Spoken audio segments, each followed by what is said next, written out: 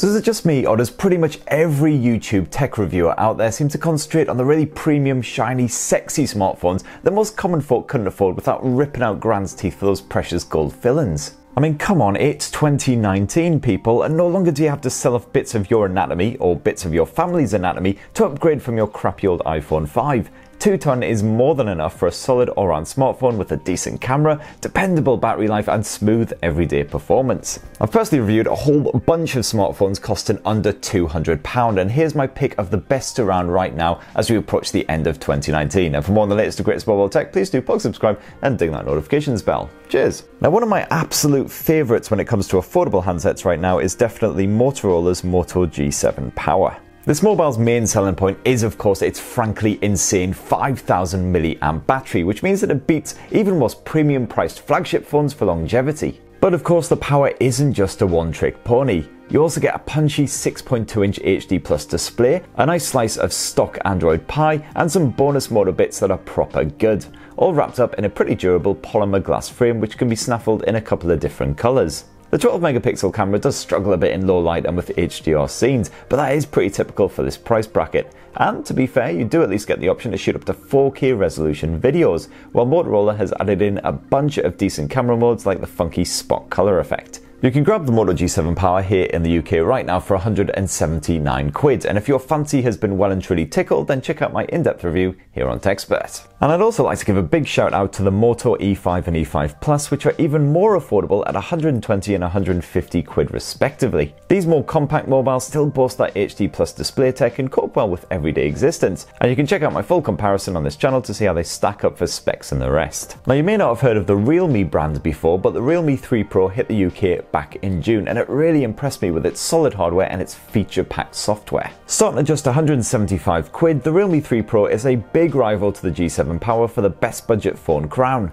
Battery life may not be quite as strong, but the 4000 mAh cell should last you well into a second day before a recharge is finally needed. The Snapdragon 710 processor offers smooth performance no matter what you're up to, and you also get a dedicated game space feature courtesy of the Color OS launcher for blocking notifications and the like when you're getting your PUBG on. Even Realme's camera punches well above its weight, capturing vibrant looking snaps in even quite testing conditions, or recording 4K video on demand. And all of that glorious tech is wrapped up in a shiny glass casing which packs a snazzy yet subtle S-curve effect. Another cheapy blow which launched early 2019 is Sony's Xperia L3 which just 169 British pounds represents pretty stunning value for money. The L3 is a big step up from last year's L2 showing off some impressively smooth performance for a budget handset. Sure it's just a MediaTek chipset stuffed inside but it's backed by 3 gigs of RAM and it copes perfectly well with apps, media streaming and even a bit of light gaming. That 13 megapixel rear camera is bolstered by a basic depth sensor for capturing accurate bokeh shots, while you also have an 8 megapixel selfie snapper to take some beautiful photos of that pretty face of yours. And you can shoot away all day thanks to the 3300 mAh battery which supports Sony's adaptive charging tech to prevent long-term damage. Sadly, it is the older Android Oreo on board rather than the latest Tasty Pie, so the Xperia L3 isn't fully up to date. And the Xperia L3 also lacks that super tall 21 by 9 aspect ratio of the rest of Sony's new smartphones, though we still really like the relatively compact design, especially Sony's effective edge-mounted fingerprint sensor and that Gorilla Glass 5 finish to keep the screen in tip-top shape. Definitely no complaints with that punchy IPS panel either, which pumps out crisp, colourful visuals. Next up is the Nokia 6.1, an Android One blow which can be picked up for around 150 smackers these days from the likes of Amazon and Carphone Warehouse, and with two guaranteed years of OS and security updates, the Nokia 6.1 should stay fresh for the interim despite the fact that it is getting on a bit. The everyday experience is pretty slick with Qualcomm's Snapdragon 630 chipset running the show backed by 3 gigs of RAM. If you like streaming media, you'll especially love the sharp Full HD Plus display,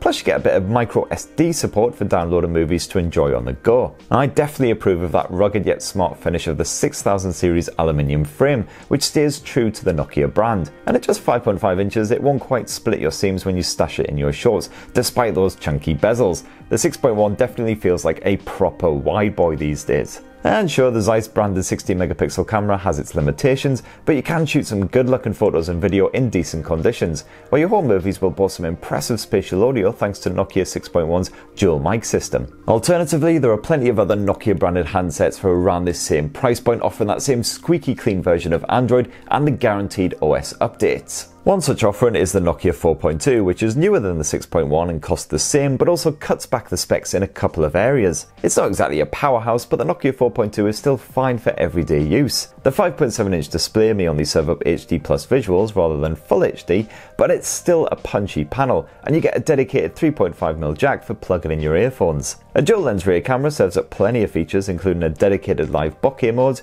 and auto HDR smarts as well, so it is pretty good for your everyday snaps. And there's also a dedicated physical assistant button, which is great news if you're constantly bugging Google for help with your everyday existence. Go check out my full roundup of the best Android One smartphones of 2019 to see how these Nokia phones stack up against the competition. Last up is the Huawei P Smart 2019 and the Honor 10 Lite, and now I've lumped this pair together because they're essentially the same bloody phone just with a different name. Both the P Smart 2019 and the Honor 10 Lite cost bang on 199 quid. They both have a 6.21 inch Full HD Plus display with a teeny weeny water drop notch up top. They run on Huawei's Kirin 710 chipset with the Emotion UI slapped all over Android, which makes for occasionally juddery performance, although we do like a lot of the bonus features that EMUI brings. And no worries with battery life as you get a 3400 mAh cell, which can keep you going all day easily, even with a good bit of gaming and video action. And last but not least, on the back of both blowers, you'll find a 13 megapixel camera, complete with a depth sensor for portrait shots and a bugger of bonus features to play around with. Video quality ain't particularly sexy, sure, but we're more than happy with the photos churned out by both of these mobiles. Now, one sub £200 smartphone that I sadly have not yet had a chance to review is Samsung's Galaxy A20e, which for just 170 bob offers a reasonably compact finish and some pretty decent specs.